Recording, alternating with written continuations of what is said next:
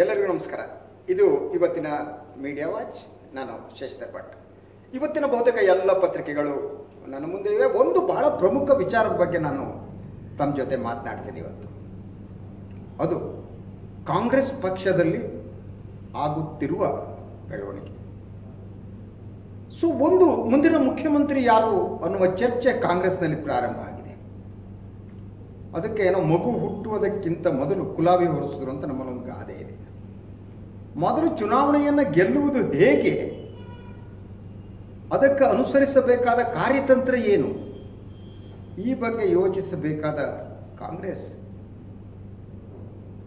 ಒಳಗಡೆ ನ ಮುಂದಿನ ನಾಯಕತ್ವದ ಪ್ರಶ್ನೆ, ಮುಖ್ಯಮಂತ್ರಿ ಅಭ್ಯರ್ಥಿಯ ಪ್ರಶ್ನೆ ಬಹಳ ಜ್ವಲಂತವಾಗಿ ಕಾಡೋದಕ್ಕೆ ಪ್ರಾರಂಭ ಆಗಿದೆ. ಸೊ ಇದನ್ನ ಹುಟ್ಟು ಹಾಕುತ್ತಿರುವವರು ಯಾರು? ಒಂದು ಮಾಜಿ ಮುಖ್ಯಮಂತ್ರಿ ಸಿದ್ದರಾಮಯ್ಯ ಅವರ ಆಪ್ತರು. ಸಿದ್ದರಾಮಯ್ಯ ಅವರನ್ನ ಭಾವಿ ಮುಖ್ಯಮಂತ್ರಿ ಅಂತ ಕರೆದವರು ಜಡ್ ಎ ಜಮೀರ್ ಅಹಮದ್ ಖಾನ್. ಒಂದು ಕಾಲದ ಕುಮಾರಸ್ವಾಮಿ ಅವರ ಆಪ್ತ ಬಳಗದ ವ್ಯಕ್ತಿ. ಈಗ ಅವರು ಸಿದ್ದರಾಮಯ್ಯನವರಿಗೆ ಆಪ್ತರು. ಅವರು ಆಗಾಗ ಇಂಥ ಹೇಳಿಕೆ ಕೊಡುವುದು ಸಾಮಾನ್ಯ ಆಗಿದೆ. ಒಂದು ತಮ್ಮ ಕ್ಷೇತ್ರ ಚಾಮರಾಜಪೇಟೆಯನ್ನು ಸಿದ್ದರಾಮಯ್ಯನವರು ಬಿಟ್ಟುಕೊಡ್ತೀನಿ ಅಂತ ಒಂದು ಕಾಂಟ್ರಾವರ್ಸಿಯನ್ನು ಅವರು ಸೃಷ್ಟಿ ಮಾಡಿದರು.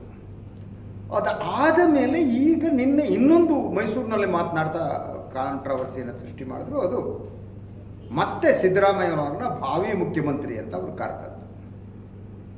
ಇದು ಕರೆದ ಮೇಲೆ ಹಲವು ರೀತಿಯ ಪ್ರತಿಕ್ರಿಯೆಗಳು ಪ್ರಾರಂಭ ಆದವು. ಹಾಗೆಯೇ ಕೊಪ್ಪಳದಲ್ಲಿ ಅಲ್ಲಿ ಸಿದ್ದರಾಮಯ್ಯನವರ ಆಪ್ತರೊಬ್ಬರು, ಹಿಟ್ನಾಳ್ ಅವರು ಹಿಟ್ನಾಳ್ ಅವರು ಅವರು ಬಂದು ಸ್ಟೇಟ್ಮೆಂಟ್ ಕೊಟ್ಟರು ಅದಕ್ಕೆ ಕೆ ಪಿ ಸಿ ಸಿಯ ಮಾಜಿ ಅಧ್ಯಕ್ಷ ಮತ್ತು ಹಿರಿಯ ನಾಯಕ ಡಾಕ್ಟರ್ ಪರಮೇಶ್ವರ್ ಅವರು ಪ್ರತಿಕ್ರಿಯೆ ನೀಡಿದರು ಅದರಂತೆ ಕೆ ಪಿ ಸಿ ಸಿ ಅಧ್ಯಕ್ಷರಾಗಿರುವಂಥ ಡಿ ಕೆ ಶಿವಕುಮಾರ್ ಅವರು ಪ್ರತಿಕ್ರಿಯೆ ನೀಡಿದರು ಡಿ ಕೆ ಇಷ್ಟಕ್ಕೆ ಕೂತಿಲ್ಲ ಅವರಿಗೆ. ಇರಿಟೇಟ್ ಆಗಿರುವುದು ಭಾಳ ಸ್ಪಷ್ಟವಾಗಿ ಗೊತ್ತಾಗ್ತಾ ಇತ್ತು.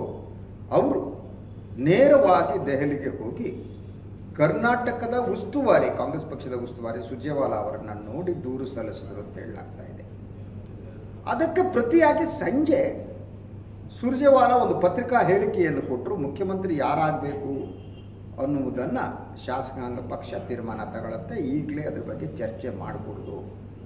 ಇಂಥ ಚರ್ಚೆಯನ್ನು ಹುಟ್ಟು ಹಾಕಿದ್ರ ವಿರುದ್ಧ ನಾವು ಕ್ರಮ ಕೈಗೊಳ್ತೀವಿ ಅಂದರು ಸುರ್ಜೇವಾಲಾ. ಅದಕ್ಕೆ ಇಲ್ಲಿ ಬೆಂಗ, ಬೆಂಗಳೂರಿನ ಪ್ರತಿಕ್ರಿಯೆ ನೀಡಿದಂಥ ಸಿದ್ದರಾಮಯ್ಯ ನನಗೆ ಗೊತ್ತು, ನನಗೆ ಹೇಳೇ ಡಿ ಕೆ ಶಿವಕುಮಾರ್ ಡೆಲ್ಲಿಗೆ ಹೋದದ್ದು. ನನಗೆ ಹೇಳೇ ಹೋಗಿದ್ದಾರೆ. ಅಂತರ ನಾನು ಪರ್ಮಿಷನ್ ತಗೊಂಡು ಹೋಗಿದ್ದಾರೆ ಅನ್ನೋ ರೀತಿ ಸಿದ್ದರಾಮಯ್ಯ ಮಾತನಾಡಿದರು. ಇದೊಂದು ಹೊಸ ವಿವಾದವನ್ನು ಸೃಷ್ಟಿಯಾಯಿತು ಕಾಂಗ್ರೆಸ್ ಪಕ್ಷಕ್ಕೆ ಇದು ಬೇಕಾಗಿತ್ತ. ನೀವು ಮೊದಲು ಬಿ ಜೆ ಪಿಯನ್ನು ಸೋಲಿಸುವುದು ಹೇಗೆ ಅನ್ನೋದ್ರ ಬಗ್ಗೆ ಚರ್ಚೆ ಮಾಡಬೇಕಾಗಿದೆ. ಹಾಗೆ ಕಾಂಗ್ರೆಸ್ ಪಕ್ಷದ ಹಲವು ಗುಂಪುಗಳಿವೆ. ಒಂದು ಸಿದ್ದರಾಮಯ್ಯನವ್ರ ಗುಂಪಿದೆ. ಇನ್ನೊಂದು ಡಿ ಕೆ ಶಿವಕುಮಾರ್ ಅವರ ಗುಂಪಿದೆ. ಖರ್ಗೆ ಅವರ ಬೆಂಬಲಿಗರು ಗುಂಪುಗಳಿವೆ. ಪರಮೇಶ್ವರನ ಇಷ್ಟಪಡೋರಿದ್ದಾರೆ ಅಲ್ಲಿ ಹಲವು ನಾಯಕರು, ಹಲವು ಗುಂಪುಗಳು. ಇವರೆಲ್ಲ ಒಂದಾಗ್ತಾರೆಯೇ ಇಲ್ಲವ ಅನ್ನೋದು ಬಹುದೊಡ್ಡ ದೊಡ್ಡ ಪ್ರಶ್ನೆ. ಮತ್ತು ಅವರಿಗೆ ಒಂದು ರಾಜಕೀಯ ಗಾಂಭೀರ್ಯ ಇಲ್ಲ ಅಂತ ನನಗೆ ಅನಿಸುತ್ತೆ. ಬೀದಿಯಲ್ಲಿ ಮಾತನಾಡೋ ಜನ. ಈ ಜಮೀರ್ ಅಹಮದ್ ಅವ್ರನ್ನ ಅಕ್ಕಪಕ್ಕ ಯಾಕೆ ಇಟ್ಕೋತಾರೆ ಸಿದ್ದರಾಮಯ್ಯ ಅನ್ನೋದು ನನಗೆ ಅರ್ಥ ಆಗಲ್ಲ. ಒಬ್ಬ ವ್ಯಕ್ತಿ ಸುತ್ತಮುತ್ತ ಯಾರು ಇರ್ತಾರೆ ಅನ್ನೋದು ಭಾಳ ಮುಖ್ಯವಾದ್ದು. ನಮ್ಮ ಸುತ್ತಮುತ್ತ ನಮಗೆ ಡ್ಯಾಮೇಜ್ ಮಾಡುವಂಥ ವ್ಯಕ್ತಿಗಳಿದ್ದರೆ ಅವರನ್ನು ದೂರ ಮಾಡಬೇಕು. ಇಂಥ ಹೇಳಿಕೆಗಳು ಸಿದ್ದರಾಮಯ್ಯವರಿಗೆ ಸಂತೋಷ ಕೊಡ್ತಾ ಇದೆಯಾ?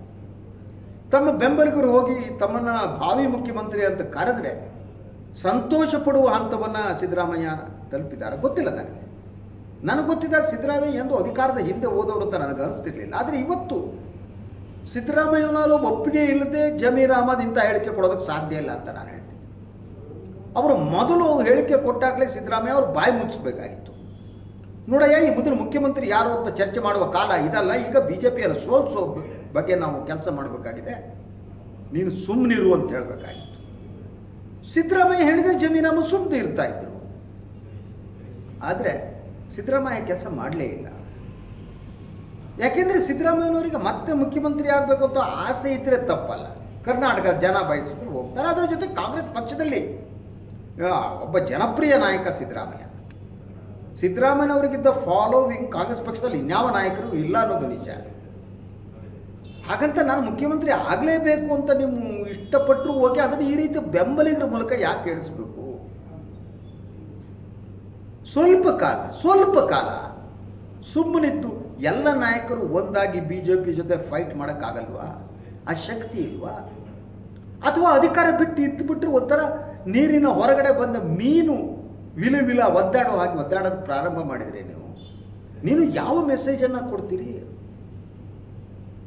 ಈಗ ಭಾರತೀಯ ಜನತಾ ಪಕ್ಷ ಸ್ವಯಂಕೃತ ಅಪರಾಧದಿಂದ ಅಧಿಕಾರ ಕಳೆದುಕೊಳ್ಳುವ ಒಂದು ಹಂತಕ್ಕೆ ಬಂದಿಳಿದಿದೆ. ಯಡಿಯೂರಪ್ಪನವರ ಇಮೇಜ್ ಏನಿದೆ? ಆ ಇಮೇಜ್ ಸಂಪೂರ್ಣವಾಗಿ ಡೌನ್ ಆಗಿದೆ. ಬಿಜೆಪಿ ಇಮೇಜ್ ಡೌನ್ ಆಗಿದೆ ಮೋದಿ ಮತವನ್ನು ತರುವ ಸ್ಥಿತಿಯಲ್ಲಿಲ್ಲ ಇಂತಹ ಸನ್ನಿವೇಶದಲ್ಲಿ ಇಂಥ ಕಾಂಗ್ರೆಸ್ ಏನು ಮಾಡಬೇಕಾಗಿತ್ತು? ಕಾಂಗ್ರೆಸ್ ಈ ಸಂದರ್ಭದಲ್ಲಿ ನೀವು ಬಿ ಜೆ ಪಿಯನ್ನು ಎದುರಿಸುವಂಥ ಚಾಕಚಕ್ಯತೆಯನ್ನು ಪ್ರದರ್ಶಿಸಬೇಕಾಗಿತ್ತು. ಆದರೆ ತಾವು ಅದನ್ನು ಮಾಡದೆ ಪರಸ್ಪರ ಕಾಲೆಳೆಯುವ ಕೆಲಸದಲ್ಲಿ ನಿರತರಾಗಿದ್ದಾರೆ. ಒಬ್ಬರು ಮುಖ ಕಂಡ್ರೆ ಒಬ್ರಿಗಾಗಲ್ಲ.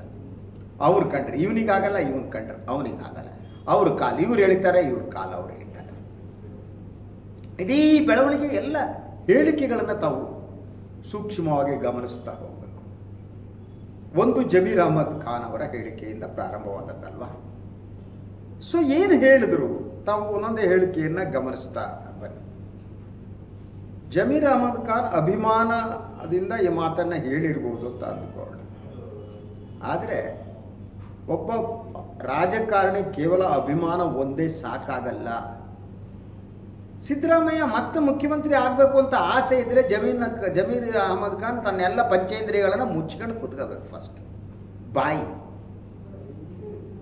ಮಾತೇನೋ ಮನೆ ಕೆಡಿಸ್ತು, ಇನ್ನೇನೋ ಒಲೆ ಏನೋ ಇದು, ಏನೋ ತೂತೇನೋ ಒಲೆ ಕೆಡಿಸ್ತು ಅಂತ ನಮ್ಮ ಒಂದು ಗಾದೆ ಇದೆ. ಅಲ್ವಾ?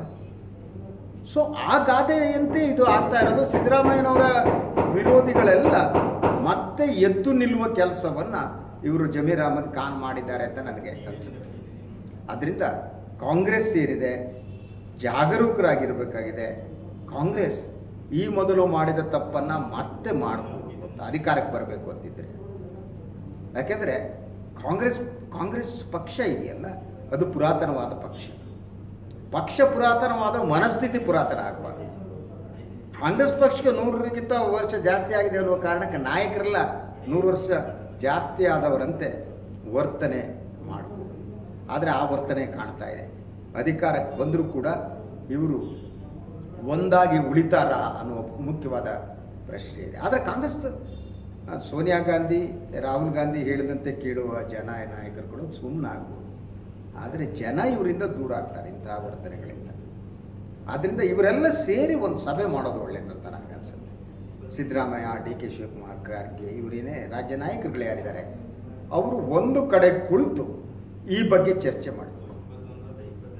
ಚರ್ಚೆ ಮಾಡಿ ಒಂದು ಸ್ಟ್ರಾಟಜಿಯನ್ನು ಬರ್ಕೊಂಡು ಸಾಮೂಹಿಕ ನಾಯಕತ್ವ ಅನ್ನೋದು ಈ ಕಾಂಗ್ರೆಸ್ಸಿಗೆ ಅಗತ್ಯ ಇದೆ ನಾನು ಸಾಮೂಹಿಕ ನಾಯಕತ್ವದ ಮೂಲಕ ನೀವು ಚುನಾವಣೆಯನ್ನು ಎದುರಿಸಿ. ನಂತರ ಶಾಸಕಾಂಗ ಪಕ್ಷದ ಸಭೆಯಲ್ಲಿ ಯಾರಿಗೆ ಬಹುಮತ ಇದೆ ಅವರು ಮುಖ್ಯಮಂತ್ರಿ ಆಗಲಿ ಅಧಿಕಾರಕ್ಕೆ ಬಂದರೆ. ಆದರೆ ನೀವು ಇದು ಆತ್ಮಹತ್ಯಾ ಯತ್ನ ಅಂತ ನಾನು ಕರಿತೀನಿ. ಹೆಟ್ನಾಳ್ ಹಿಟ್ನಾಳ್ ಅವರು ಆ, ಜಮೀರ್ ಅಹಮದ್ ಖಾನ್ ಅವರು ಮೊದಲ ಅವರು ನೀಡ್ತಾ ಇರೋ ಹೇಳಿಕೆ ಏನಿದು? ಇದು ಆತ್ಮಹತ್ಯಾತ್ಮಕವಾದದ್ದು. ಅದು ಅವರ ನಾಯಕರಿಗೆ ಮಾತ್ರ ತೊಂದರೆ ಇಲ್ಲ ಕಾಂಗ್ರೆಸ್ ಪಕ್ಷಕ್ಕೂ ಕೂಡ ಇದು ಗಂಭೀರವಾದ ಸಮಸ್ಯೆಯನ್ನು ಸೃಷ್ಟಿ ಮಾಡುತ್ತೆ.